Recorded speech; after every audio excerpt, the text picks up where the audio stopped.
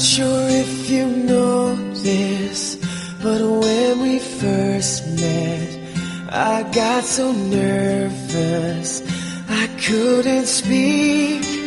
In that very moment, I found the one, and my life had found its missing piece. So as long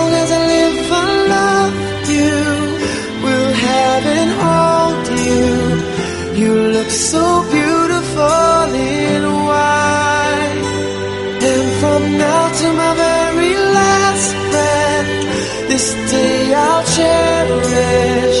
You look so beautiful